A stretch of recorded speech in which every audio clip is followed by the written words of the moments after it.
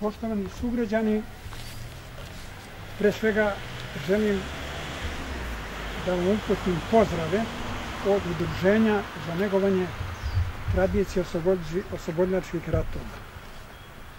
Ja vas zamolio, dragi sugrađani, da jednim aplauzom pozdravimo ovdje prisutne predstavnike Vojske Srbije koji su čuvari slobode i bezbednosti našeg naroda.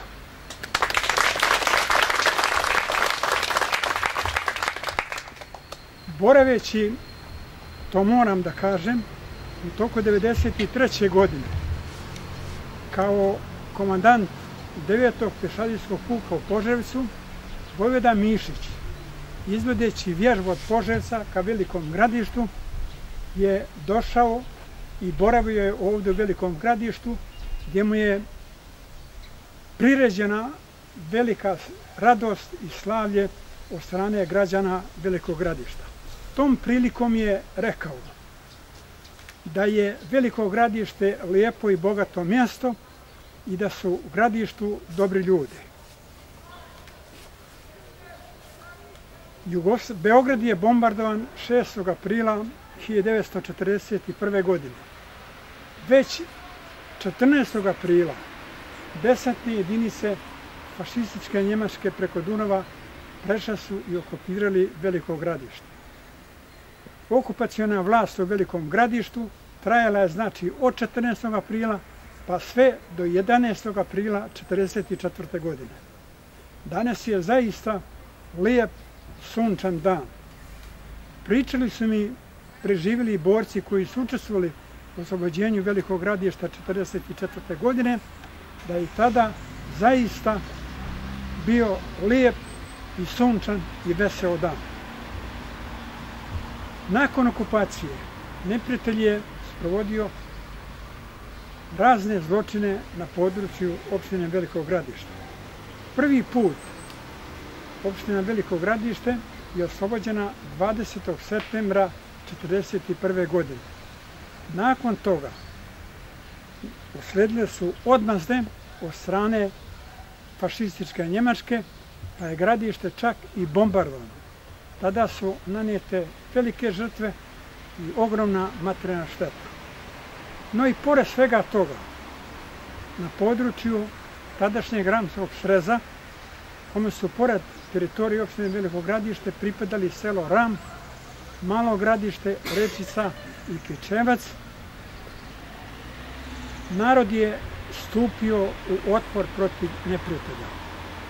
Za čitovo vrijeme do oslobođenja na području Ramzovog sreza tadašnjeg vodile se borbe od strane pre svega požarevačkog partizanskog odreda protiv okupatora.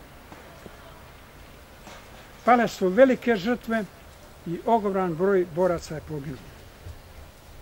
Posljednji put gradište je oslobođeno i konačno 11. oktobra 1944. godine. No pre toga, 21. septembra 1944. godine, Požrevački partizanski odred je boravio na području Mustapića i Male Bresnice. Tom prilikom je došlo do oštre borbe između partizana i četnika. Partizani su pobjedili četnike, razbili i nakon toga, a po naređenju, nastupilo je potpuno povlačenje četničkih jedinica sa područja Ramskog sreza. Partizanski odred Požrevački krenuo je dalje u nameri da bi oslobodio Kučevu. No, Kučevo je već bilo oslobođeno od strane jedinica 25. srpske divizije. Posle toga, preko Turija, Rakoje, Bare i, i, i Tumana, Podževački odbor, odred jedinice 25. srpske udane divizije krenuo je ka oslobađanju Golubca. Tu se već pridružili jedinicama Crvene armije koji su pre toga prešli granicu kod Kladova i ušli na teritoriju Srbije. Golubac je oslobođen 7. oktobra 1944. godine, a potom nastavilo se dalje dejstvo u pravcu Velikog gradišta. Vodila se oštra borba na liniji selo Ponikva-Vince, gdje su Nijemci orazovali otpor, međutim, uz pomoć jedinica Crvene armije bili su potpuno dotučeni i razbijeni i oni se povukli ka velikom gradištu. Nakon toga nastavili su povlačenje u pravcu Požarca. Jedinice Požarevačkog partizanskog odbora od, odreda i to jedan od bataljona kojim je komandovao naš sugrađanin, sada već pokojni, Mihajlo Stojedinović Mikce, bio je komandant jednog od bataljona Požarevskog partizanskog odreda i 11. oktobra 1944. godine u ranim jutarnjim časovima on je ušao u veliko gradište. Gradište je tada oslobođeno. Jedinice 25. korpusa nastavili su dalje gonjenje neprijatelja u pravcu Poževca, a dolaskom jedinica, jedinice Poževačkog odreda ulaskom u veliko gradište pristupilo se odmah formiranju narodne vlasti. Mikče je postavljen za komandanta u velikom gradištu, a prvi i osnovni zadatak im je bio da se obezbedi normalna ishrana stanovništva, posebno jedinica 25. brigade. Moram da istaknem ovom priliku da je također u tom periodu dok je 25. brigada nakon oslobođenja Poževca boravila na ovom području, da je sa teritorije Ramskog sreza mobilisan veliki broj vojno sposobnih lica od 18 do, do 35 godina radi popune. 25. brigada nakon popune brojala je negdje oko 14.000 boraca. Krenula je dalje i prvu borbu je vodila kod Kraljeva 8. novembra 1944. godine, potom nastavila je dalje prema Bajnoj bašti, Zvorniku, prešla je Drinu, nastavila je dalje prema Doboju, Derventi, Prnjavoru, a sa velikom radošću je dočekana od, od preživjelog stanovništva na Kozari. Posle toga nastavila je borbana dejstva u sastavu druge armije kroz Hrvatsku, pa sve do Slovenije gdje je dočekala i slobodu. Moram da istaknem da je u tim borbama, pogotovo kroz Hrvatsku, poginuo ogromni broj boraca 25. srpske divizije. Posljednji koji su poginuli su i borci koji su sa našeg područja, a to su Nedeljković, Živojin i Srednjana, Đokić, Dragoslav iz Požažena i još nekoliko njih. U toku borbenih operacija 25. Srpske udarne divizije nakon popuna, krenula je sa oko 14.000 boraca iz Poževca, rat je dočekala negdje sa oko 7.000 boraca. U tim borbenim operacijama samo sa područja Ramskog sreza, znači sa područja opštine velikog gradište, života su dali 371 borac sa naše teritorije. Ja vas pozivam da minutom čutanja odamo poštu svim poginulim borcima koji su učestvovali u oslobođenju velikog gradišta i oslobođenju naše zemlje. Veliko gradište dalo je ogroman doprinos, a to se vidi iz samih žrtava, da je zaista dalo ogroman doprinos u borbi protiv fašizma.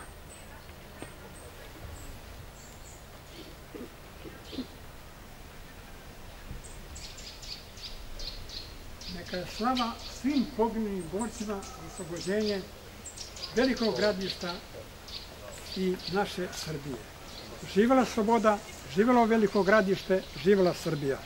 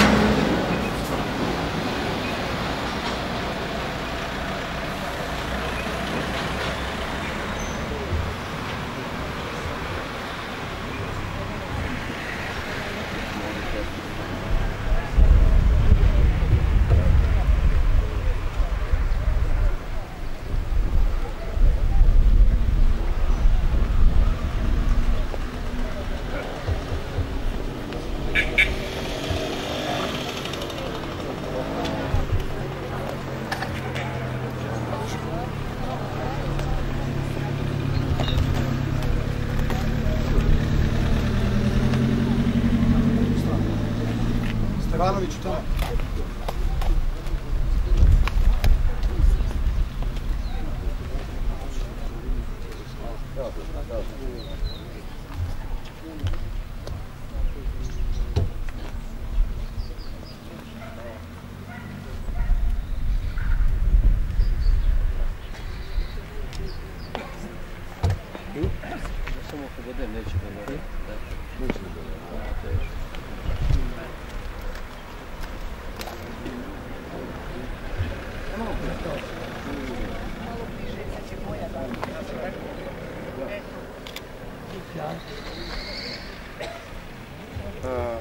Poštovani predsjedniče opštine, uvaženi predstavnici lokalne samuprave, uvaženi predstavnici Vojske Srbije, dragi đaci.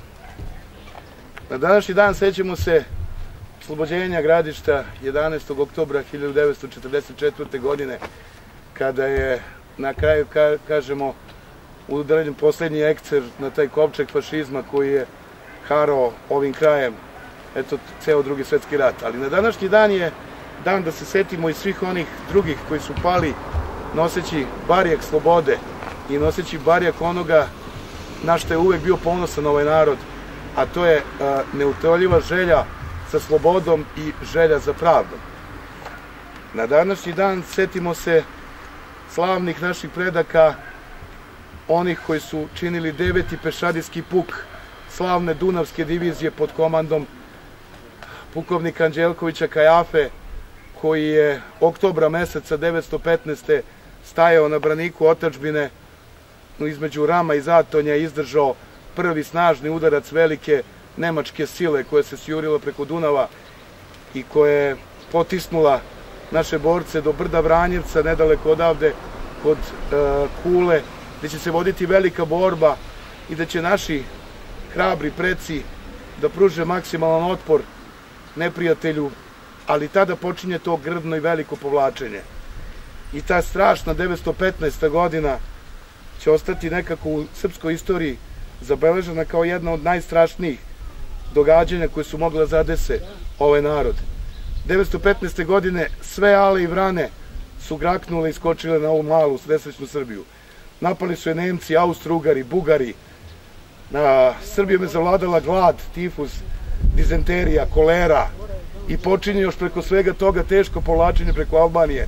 Ta mučna golgota srpskog naroda koja će završiti krvom, vidom, ali na kraju, kako to priča uvek gaže, nekako sve na kraju se završi na strani malih, ali dobrih, malih, ali poštenih. Kao onaj naš čuveni cvet koji se zove Ramonda, koji raste na Kajmakčalanu, koji izgleda da je mrtav, ali kada ga stavite u vodu, on ponovo živi. Tako je Srbija ponovo živela. Srbija se uzdigla iz pepela. Naši preci, ti, ovi ljudi koji su ovde zapisani, njihova imena, su učestvovali u proboju Solunskog fronta, učestvovali u onoj slavnoj uh, akciji kada će srpska vojska, kako kažu francuski izvori, na, srpska pešadija napredovati brženo francuska konjica, nošena onom mišlju da posle dve godine se srpski seljak vraća kući. Što bi rekao tadašnji zapovednik i Mišić i Bojević kada daju, i prestolonaslednik tada regent Aleksandar, kada daju uh, dnevnu zapovest srpskoj vojsci 15. septembra 1918. kaže vojnici, junaci, idemo kući napred u otačbinu. To je moment kada se treba setiti svih tih palih ljudi, svih tih naših div junaka koji su simbolično prikazani na ovom spomeniku. Ovaj naš hrabri vojnik u francuskoj uniformi, jer su nas francuzi tada pomagali, a iznad njega simbol slobode koji drži lovorov venac pobede, velike, jedinstvene i verovatno najveće pobede koje ikad iko izvojao barem u Evropi u zadnjih više od 100 godina. Tada je Srbija, ta mala naša Srbija, bila e, stožer i bila ona sila koja je nosila barjak slobode svim evropskim narodima i tada smo svi bili veliki i uvažavani, a zato istrpeli neviđene žrtve. Danas je dan da se setimo svih njih, danas je dan i da budemo ponosni na ono što imamo i da ponosni na našu slobodu i na večitu i neutoljevu žeđ, e, žeđ srpskog roda i srpskog naroda slobodom. Neka im je večna slava svim palim borcima u oslobodilačkim ratima 1912-1919, svim palim borcima u oslobodilačkom ratu od 1941. do 1945. godine i svim onim palim kasnije u raznim oslobodilačkim ratovima na teritoriji nekadašnje bivše Jugoslavije, pa da se setimo i onih slavnih heroja sa Košara i Paštrika, koji su takođe svoje živote usadili u temelje onoga što danas može da zovemo sloboda Srbije. Neka im je večna slava i večna je pamet.